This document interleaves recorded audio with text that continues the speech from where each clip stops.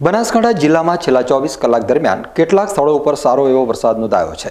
તો કેટલાક સ્થળો ઉપર નહિવત વરસાદ થયો છે. બનાસકાંઠા જિલ્લામાં આજે સવારે પૂરા થતા ચોવીસ કલાક દરમિયાન સરેરાશ દસ પોઈન્ટ પચાસ મિલીમીટર વરસાદ નોંધાયો છે. જિલ્લામાં સૌથી વધુ વડગામમાં ચુમ્માલીસ મિલીમીટર વરસાદ નોંધાયો છે. જ્યારે અમીરગઢ, ડીસા, દિયોદર અને સુઈગામમાં નહિવત વરસાદ થયો છે. જિલ્લાના અલગ અલગ તાલુકામાં થયેલા વરસાદ ઉપર નજર કરીએ.